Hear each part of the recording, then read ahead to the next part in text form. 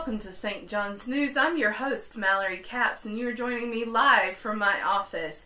Today is a very important day in our church. It is Stewardship Sunday. Stewardship Sunday is the Sunday where we decide how we're going to have our next year. What are our goals? What are our hopes? And how you can be involved. Today, you would have received a stewardship card. On the front of the card, you have a place for your name and phone number. Below that is listed the five areas that you pledge to uplift our church when you join. The first being prayers. Are you going to pray for our church? Will you pray for the people of our church? Second, your presence. That's being involved, being a part of the various ministries here. Your third is your service. That's how you'll serve the community and our church in uplifting the members of the church and the community. Four, your gifts. We're all talented in some areas. What area can you give your gifts to? And then lastly, your witness. Being able to show the love of God to the world beyond. On the back of your card, you'll notice two separate areas.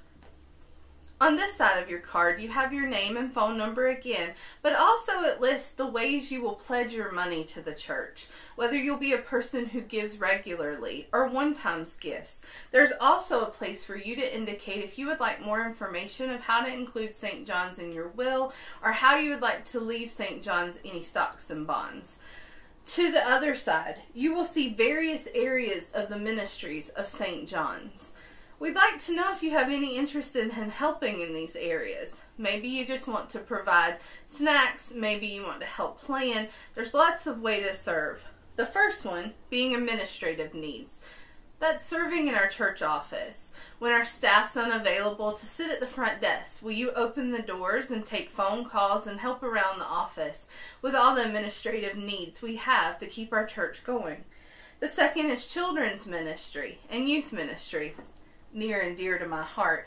Will you be able to provide snacks for real kids or UMYF? Will you sit and be a second person in the services and the events that we have to help provide accurate supervision and to provide safe sanctuary for our children and youth? Will you serve on the council and be someone who plans and sees how we can take these areas in various directions? Third, you have adult ministries. That includes Bible studies, VIPs, other events that are catered to our adult ministry. Then, family ministries, one of our very important groups that provides intergenerational ministries.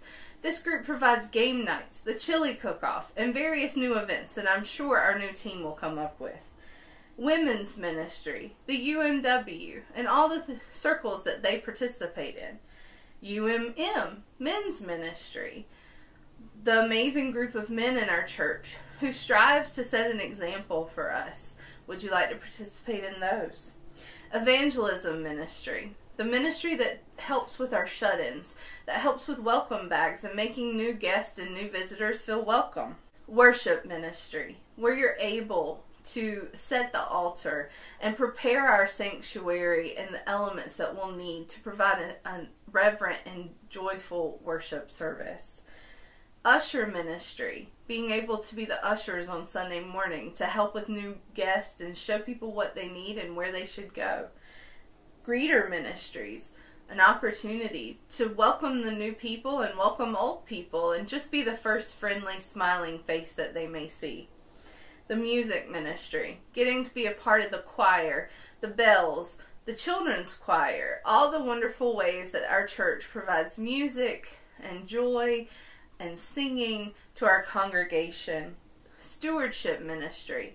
That ministry has a special place. They get to help write the Lent devotional. They help with Advent devotionals.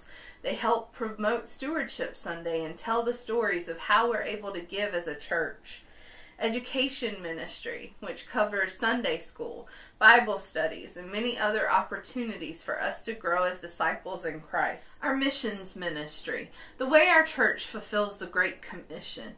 How do we go out into the world? How do we offer the love of Christ in a practical way to those around us? Technical support ministry, where you're able to help with the soundboard, with the videos, with the PowerPoint presentations, and help make sure that we provide a good service both to our people in our church and those who are watching at home. Maintenance and building support ministry, Are you gifted in an area that helps with plumbing, electrical, building furniture, making projects around the church to make our church better, the facility aspect. This is a great opportunity for you.